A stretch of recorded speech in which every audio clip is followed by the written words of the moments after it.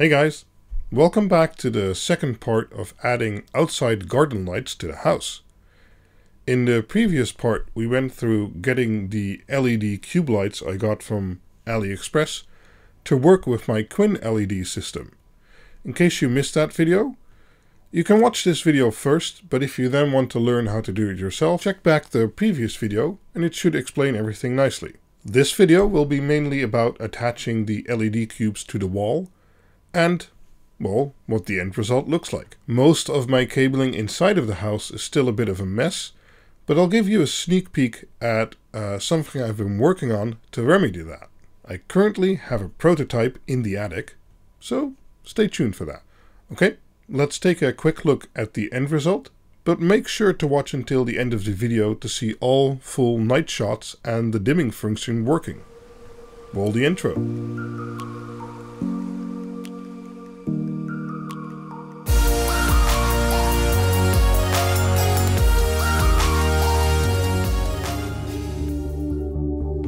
As I mentioned, let's first take a quick look at, well, basically the finished product.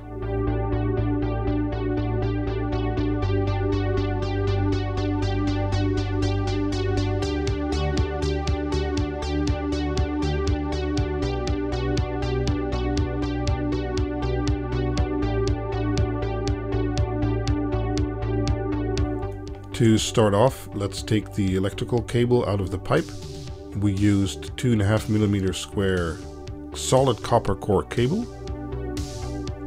And let's cut the cable to length. You can always cut it shorter, but if you cut it too short, you can't make it longer again. So make sure you have a little bit of slack. Next we need to make sure that the electrical conduit isn't protruding from the wall so I use a pair of snips to cut it down a bit so that it's flush with the wall.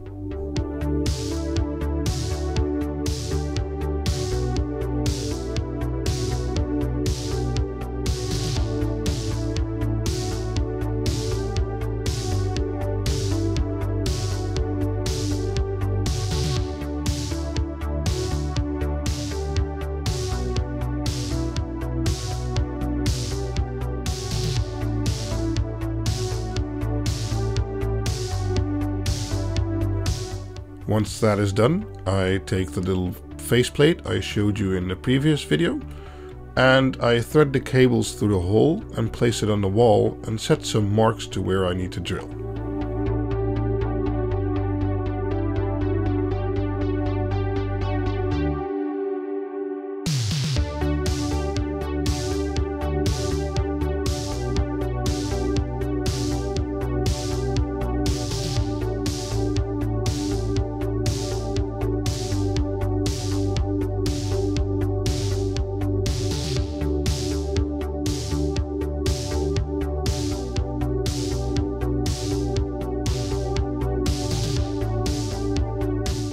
Use a drill to drill the two holes needed to attach the faceplate.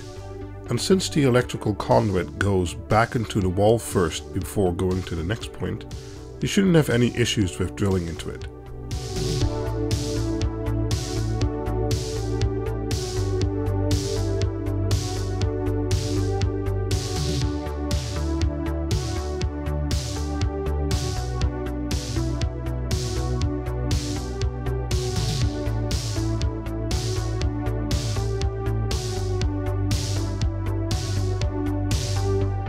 Although the lights come with plugs and screws included, I decided to use my own.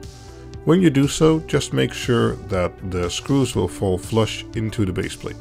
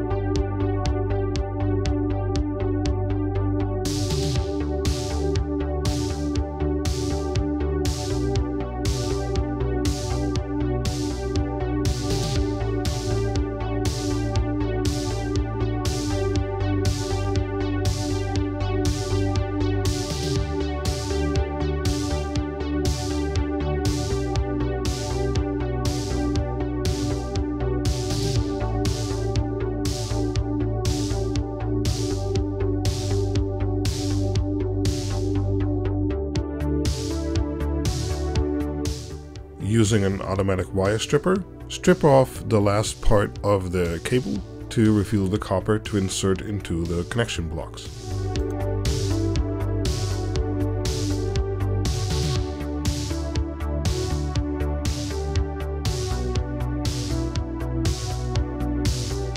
Since we prepared the lights in the last video, it's just a case of snipping in the right wires into the right block and connecting the light to the base plate.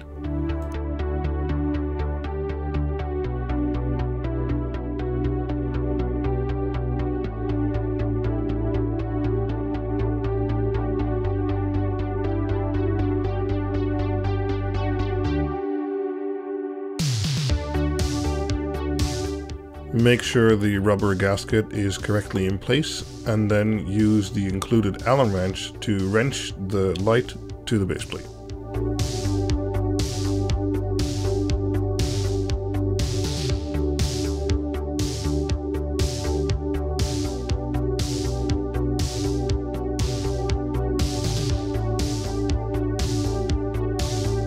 Last thing to do is to put on the cap and this light is finished.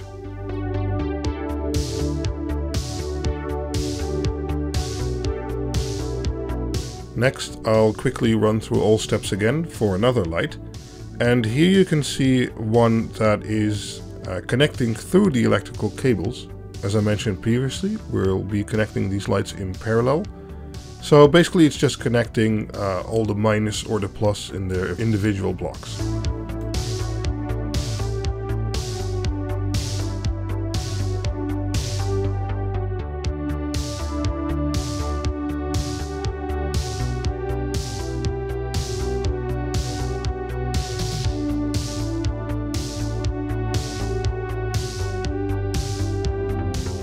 Here are some shots of the lights attached to the house and how the lights look at night.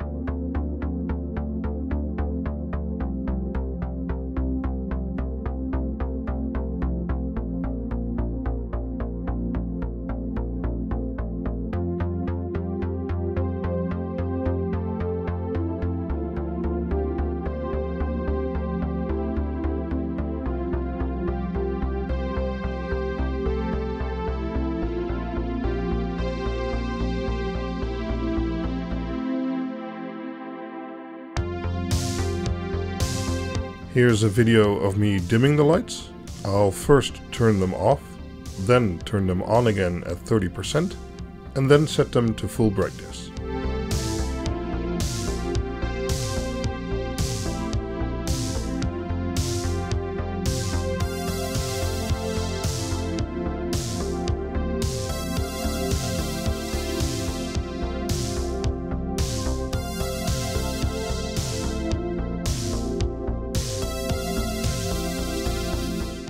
And that's it. The lights have been installed and dimming is working perfectly. The lights provide a very pleasant glow and illuminate the house and all the pathways nicely. As promised, I would also show how I hooked everything up inside of the house, but as you can see from the pictures, that is still very much a work in progress. It's functional, but doesn't look all that pretty yet. But I've been working on a plan for that and I call it my LED power board. Here are some shots of a prototype I've created, which is currently running in the attic. I'll be making similar boards for the two other locations in the house, and with that create some order in the current mess. Once I get to that, I'll be sure to make some videos of what the board has and how it's all put together. And with that, I hope you enjoyed another video in my ESP8266 LED lighting project. And as always, more information about QuinLED can be found in the description below. Questions and comments are also welcome, and maybe consider giving this video a like and subscribing to my channel. Hoping to see you back in a future video. Bye bye.